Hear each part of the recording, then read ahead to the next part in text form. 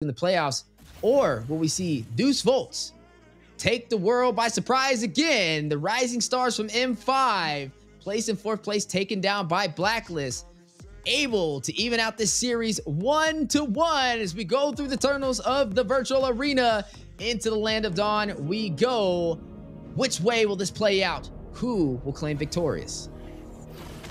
Yeah, I wish we had that virtual tunnel so we can go straight into the land of dawn.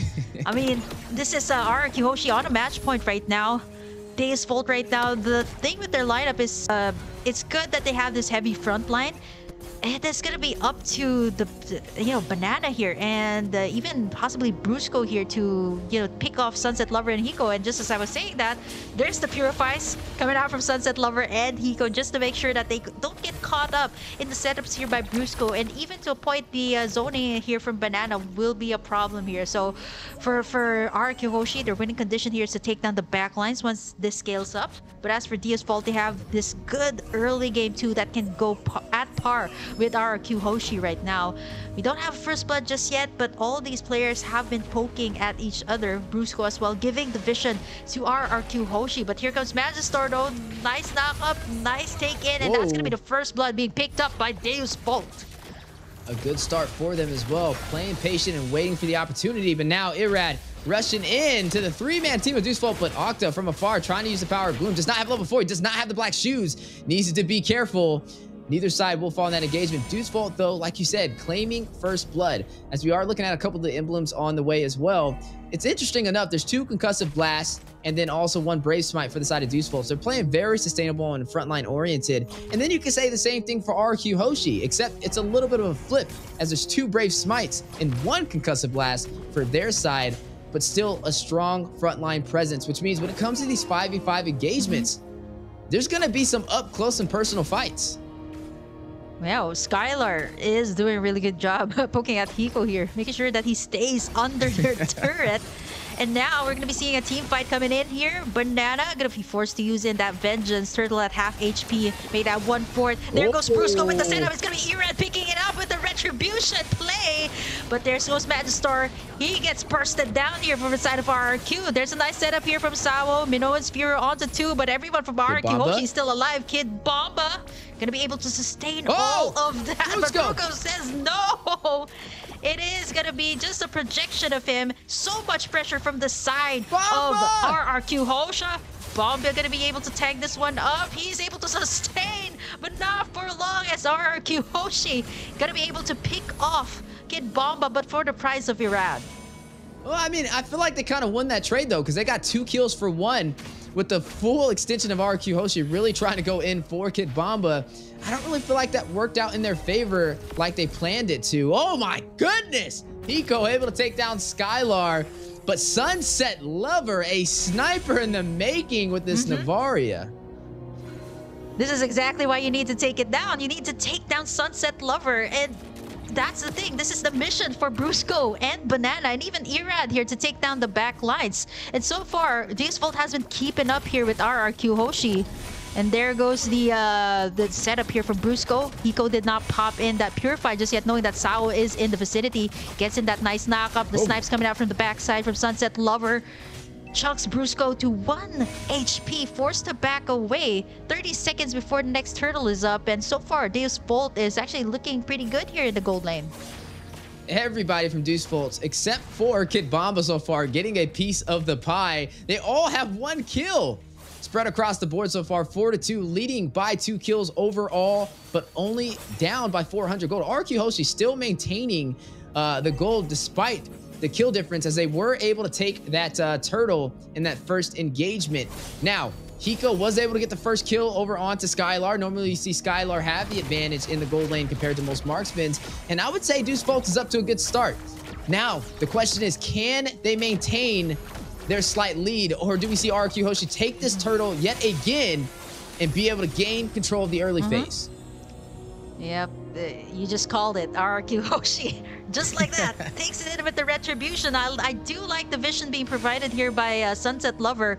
But the way that RRQ Hoshi contained that turtle pit, they weren't they aren't able to get in. Like Brusco was there just waiting in for the setup. Like even the members here at Deus Vult, the tankiest members, are gonna have second thoughts before they try to get it in. Here comes Magister with the engage. It's gonna be the nice yeah. Minoan's Fury on the three. That's gonna be Brusco. Irad checking up all of the damage. Whoa. He's gonna be forced out, but gets tugged in there by Magister. That's gonna be Deus Vult taking down Irad once again. A Nice trade-offs there, but it's still gonna be RRQ Hoshi just leading by a 400 gold lead. Let's take a look at that instant replay here. Yeah, putting RQ Hoshi on a trampoline with that Minoan Fury triple knockup, sending them straight to the moon. 5 to 2 so far, first five minutes, and RQ Hoshi able to take both turtles, but falling short on these kills. They are still ahead of gold, though, making up the advantage from having these neutral objectives is keeping them in this game and in a slight lead. Hiko off to a good start. Like we said, able to get a kill onto Skylar, may delay the late game for Carry. Looking at Irad, not off to the best start either. One, two, and one. Already finding two deaths so far. Magister, two to one so far on the scoreboard. Highest kills in the game overall and really outscaling yeah. so far inside of the jungle. Yeah, but Banana's just uh, like diving right in with his yo-yo. Even on the bottom side, that's gonna be a lot of pressure. Black Shoes being popped here by Octa. Sky's just me chalking down that tower onto the bottom side, able to take it in, but it's still alive with 1 HP as RRQ creating in that pressure on the bottom side, understanding that there's gonna be that power spike too from Hiko, right? And if they don't, they kind of leave him unchecked he's going to be able to wreak havoc here up against RRQ once it comes to the late game. Yeah, and now the next turtle does spawn in. This will be the third one of the game. Both so far have gone to RQ Hoshi. Is the third time the charm for Deus Vult, or will they let another one slip through their fingers? As you already seen RQ Hoshi in a great position for the contest. Brusco waiting to hit that spatial migration. You can just feel him itching for the setup. Astral Echo connects though. Three-man set over mm -hmm. there from Sunset Lover from afar. Know, banana here. It, you know, when when that CC is just play uh, using it that yo, it looks so innocent, oh right? God. Look at the damage it's causing, even up against Sao. And right now, banana Brusco goes in with the dive, gets in Kid Bomba. And that's gonna be RRQ picking up two kills for the price of none. Hiko, Hiko! of course, in that blazing duet. Not able to take anything in as Irad confirms the kill. RRQ Hoshi gonna be able to take the prime position once again to the turtle. This is the thing that RRQ has been doing since game number one, taking in objectives after objectives as Deus Vult cannot take anything in 2k gold lead, now making that a 3k lead up against Deus Vult. Yeah, and keeping them in the game and also putting Skylar ahead in gold, now above uh, Hiko by a thousand, even though he took a death over him in the early phase. But now with the scoreboard equalized and the economy leading into the favor of RQ Hoshi, they may be able to open up this map more in their favor as they oh, took a turn on the bottom side. But Kid Bomba very low. Sawo with the knock up the Minoan Fury two-man mm-hmm. set onto RQ Hoshi. Skylar will take him down though. Magister is connected. Death is welcome. Finds Brusco. Blazing duet from Hiko. Rushing on to Skylar. May be able to get him. Oh. Does get the kill. Vult claiming the lead 7 to 6 in terms of kills, but still down by gold. Sunset Lover oh, is going to connect with Astral Echo. I'm offended. Connect. Irad very low. Bomba on the chase. Banana taking him down. Hiko very low. Vengeance proc by Banana. Sunset Lover will find Irad. You're going to see Banana able to get out of there as well, providing a lot of presence with this CC, a major annoyance so far, harassing Deus Vult. Yeah, see, uh, this banana hasn't left the jungle side here a Deus Vult, just making sure that Magister and Sawo are contained while the rest of RRQ has been just working in those towers after towers. Two towers taken in by the side of RRQ Hoshi. Even though the gold lead is not that much, what RRQ Hoshi has more here is going to be the turret takes. And this is the same thing that they had. Turrets objective gaming is going to be the thing here. 30 seconds before the Lord and with the space created here by RQ Hoshi, they should be able to take in this Lord. Um, uh, with Deus Vult having a harder time to contest up against this. What can we say about the items here though? But speaking of the items, Kid Bomba though, gotta be getting it from Brusco here as it's gonna be a, a 2v1 situation with Kid Bomba unable to do anything at that point. Yeah, and speaking of the items, Skylar will pick up that Demon Hunter sword. We'll be able to soak into that Barats with that high HP pool. He does have the Corrosion Scythe, and on top of that, the Golden Staff. A lot of core items working in his favor as he takes the Tier 2 turret on the top side. Oh, nice setup there by Sabo. Banana as well. Popping in that vengeance. Astral Echo from the backside. Sao's gonna get chased here by Banana and Irad. I can't believe that the CC is causing that much damage, forcing the rest of the members here, Deus Vult, actually back away. Not only that, the glooms coming out from Octa is starting to hurt a lot too. They take in the mid tower right before this first lord, and RRQ Hoshi is gonna look to take this is looking to take this lord in. With Deus Vult actually backing it away. Brusco Finds another setup here onto Kid Bomba. Ooh. Irad working up on that Lord. And just like that, deleted from the map, Kid Bomba gonna get taken out as Deus Vult. Not even able to get near the Lord as RRQ Hoshi will be taking in this first Lord of the game taken every single neutral objective so far, haven't lost a single turret, and now leading by one kill and also up 4,000 gold. RRQ looking stronger than ever, holding that flag for Indonesia. Deus Vults now forced on the back end, needs to have a counter response to be able to turn this game back around into their favor. Hiko on a one-on-one -on -one up against Banana. Sawa joining the party, wants a piece of it, wants to make a banana split. But you are going to hmm. see a little bit of split on the map. Deus Vults taking it in the mid hmm. lane up against RRQ. Bruce go to spatial migration, not going to be able to connect. Sunset Lover does hit, though, with the Astral Echo and the snipe from the Astral Meteor. Man, some heavy presence as we are seeing the Lord on the top side make his way to the base of Deus Vult. Yeah, no, Sunset Lover here hasn't been picked off just yet, standing at a 204. So RQ Hoshi has to kind of respect that too. Like every single time they go for a clash, you got that Astral Echo, and by the time that Sunset Lover will be able to pick in either a Divine Glaive or even those uh, magic damage penetration items, it's gonna be really hard, right? RRQ Hoshi looking to take in the Lord. As long as they can take it, as long as they can take all these major objectives, they should be able to pressure out the lanes here of Day Small. Map control totally for the side of RRQ Hoshi. Six turrets and all the lords, all of the turtles went to the side of RRQ Hoshi. 37k lead for them as Deus Vult is holding on for their deal lives to extend this to a game number three. Yeah, and there's a lot of insurance for the side of RQ Hoshi, right? You mentioned map control and their turrets. I mean, they have every single turret still standing, and we are 12 minutes in. Deus Vult's not able to execute into their game plan jumping into this match.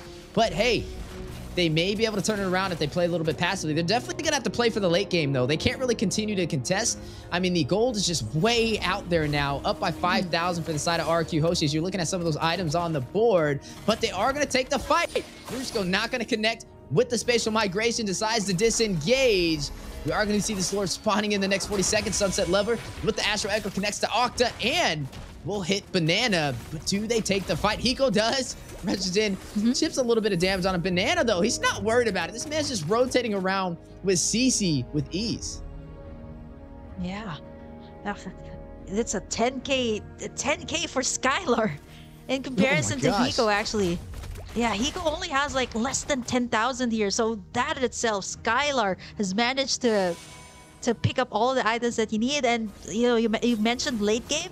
This is definitely gonna go to the carry, right? All these tanky heroes can be melted down, not unless you get that that two-man setup, the chain CC combination from either Sawo and uh, Kid Bomba here. RQ Hoshi wasting no time, knowing that, uh, respecting the fact too that they have the late game heroes here for the side of Deus Vult. They're knocking up this Lord, 1 4 HP already for the Saturday's fault. They're waiting for the proper time to come in, but they aren't able to get in. They're waiting for in some type of play. Ooh. Astral Echo, but that's going to be RRQ Hoshi getting in that Lord for free. And Deus Vult just going to be letting that one slide this time. 43k gold for the side of uh, RRQ as Deus Vult just struggling to even contain their lanes as of this point.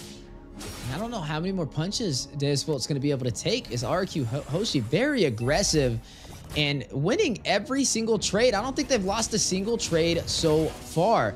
Looking at uh, Kid Bomba, this is the second time he's picked up this Ruby. The last time it wasn't as effective, and it's looking like a repetitive pattern. I mean, he's 0, 5, and 5. Highest deaths on this game so far, and hasn't really been able to provide a crucial set with the I'm Offended that Deus is kind of relying on, as we are now going to see the Lord make his way down the mid lane. Yeah. Here it is. RQ Hoshi knocking in the doors. Brusco once again with a setup onto Magister. And Skylar's gonna pick up the kill. Lords is knocking in the base of Deus Vult as Skylar's gonna be chunking in that tower really, really fast. Inhibitors are gonna be going down here as RQ Hoshi just wasting no time, creating all the pressure on all of the lanes here. Man, this is gonna be really hard. Brusco just setting up the place here for their damage deals to be able to do the thing. And now here comes Samo with the setup. And the flickers out and the purifies is gonna nullify all of that as RQ Hoshi gonna still be pressuring in all of the lanes as Deus Vult Sunset unable Lover, though. to do anything at this point. Mhm. Hiko goes in Ooh, for the Blazing Duet. from the backside. Banana gonna be able to soak that up, but Sunset Lover with that snipe kill, able to pick off one, and now Brusco in trouble too. Jumps right Brusco! out, one, one half HP as Kid Bomba goes in for the flicker. Brusco goes down, and that's gonna be it. Deus Vult claps back against RQ. A big turnaround miscalculation from the side of RRQ Hoshi, and it may cost them some grounding on the land of Dawn as Deus Vult's now in control. Will they be able to claim some of these turrets and push to their base? It looks like they are going for it down the mid lane. Astral Echo does connect for the slow on a banana on Octa. Sunset Lover will be able to take the tier one turret. Wow, this is a four-man rotation coming in from Deus Vult. Two turrets just like that. Hiko gonna be taking in a lot of the damage coming out from Octa. And that is gonna be RQ Hoshi picking up another kill. Turrets are going down one by one.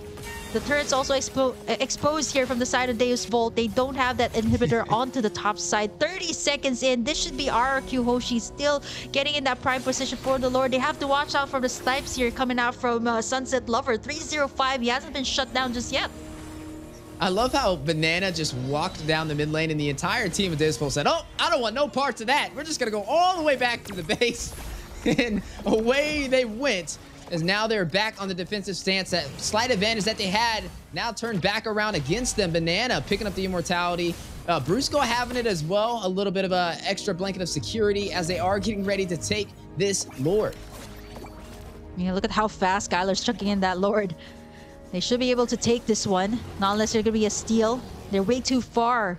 As RQ Hoshi going to be stealing the deal once again, taking in the second Luminous Lord of this game.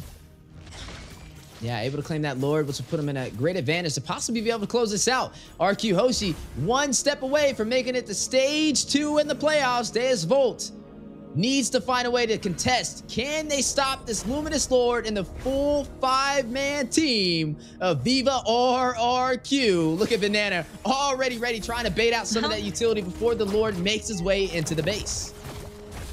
Brusco again with the setup. He finds one. He finds Hiko.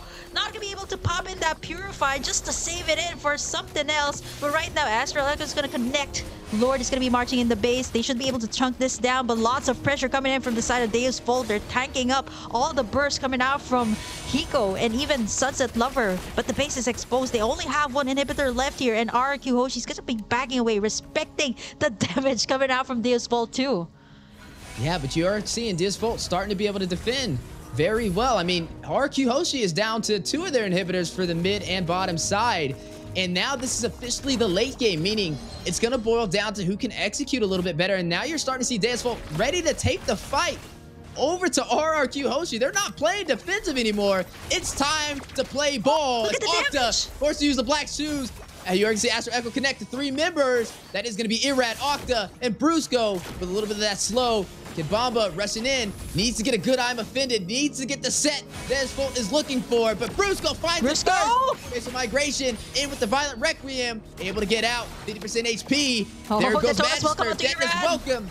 Connects to the wall for the stun. Blazing Duet from Hiko into the back line. Almost takes out Brusco, still alive. Irad, very low. Magister needing to get back. Vengeance proc by Banana. Oh, look at finding Banana, his way though. into the team of Deus Vults. Immortality's been proc. Octa in the mid lane finds Kid Bomba. Hiko finds Banana. Sunset Lover with the Astral Echo does connect, and that'll be a one for one trade for both sides, but they are not done. Trying to close the distance on Brusco, forcing out the spatial migration.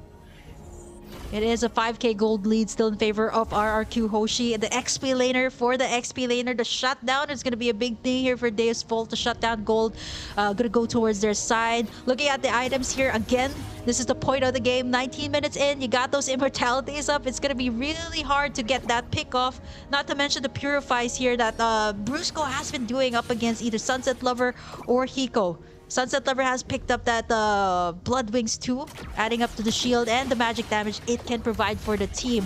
Low kill, kill scores count actually for both sides, so it is going to be a matter of execution here once it reaches this mid to late game. And RQ Hoshi just going to be positioning themselves here in the Lord Pit, making sure that they take it in before Deus Vult. Astral Echo has been committed tier 2, and RQ Hoshi not going to commit anything just yet. And this is the chance they were looking for this entire game. Vult may have a shot to even out this series up against RRQ Hoshi. This will all boil down to this play right here inside of the Lord Pit. And you are seeing Irad already pulling the aggro, trying to force the side of Deus Vults to engage, but they are playing passive. They are waiting both sides looking for a mistake to happen, mm -hmm. looking for an opportunity to engage, but still play goes out. Just migration. Brusco connected for the knockup, but only catches Sawo. Didn't get what he was looking for. Will disengage. Lord at 50% HP. Debu now having control. Oh, control. Oh, right it. on it. Big stun oh, no, on the Brusco. Brusco. Immortality being proc. Irad trying to Irad. get in there for the retreat. Sunset Lover will get a kill. Magister is going to claim it. Four days full. Hiko taking down Skylar. Irad, Mortabi Proc alongside Hiko side by side. But Hiko gets the double, finds the kill. 15 to 12 on the scoreboard, and Food has done it. They have turned this game around. RRQ Hoshi on the defense. Let's take a look at that instant replay. What just went down? Brusco was punished there. Magister landing in that nice Detona's welcome onto Irad before he could actually pop in that retribution. The burst is too much here. And now Deus Vult, the timers are ticking. It's down to Banana to defend this one. As Deus Vult, they're looking to end this. The turn takes around to take us to a game number three. They're knocking in the base. They can go for a straight push here. Steph, they're knocking and to defend SR. Deus Vult gonna be taking in game number two. We're gonna be heading towards a game number three. Ladies and gentlemen, we have a series.